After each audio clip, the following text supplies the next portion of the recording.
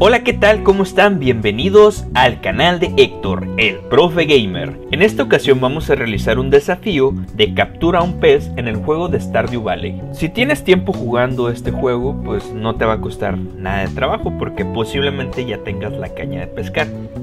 Pero si estás buscando este video en específico es porque lo quieres hacer de la manera más rápida.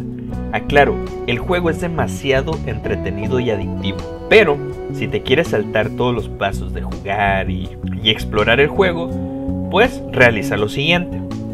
Créate un personaje cualquiera, no importa el nombre, no importa el tipo, lo que sí, sáltate el prólogo porque para lo que vienes no lo vas a ocupar.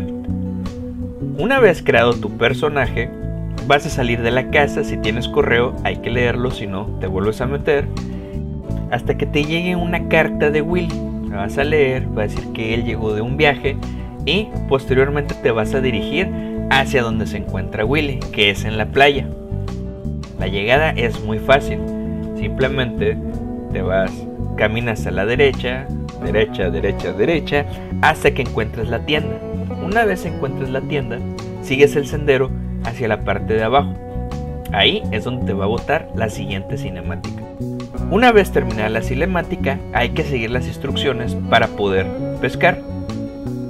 Para pescar, tienes que tener seleccionada la caña. Posteriormente, con la X, lanzas la caña y te esperas a que pique el pez.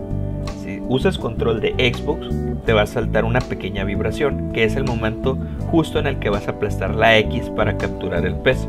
Una vez tengas el pez, hay que estar presionando la X de tal manera que la barra que se está moviendo vaya junto con el pez y al finalizar pues ya tendrías tu pez y ya tendrías tu desafío finalizado.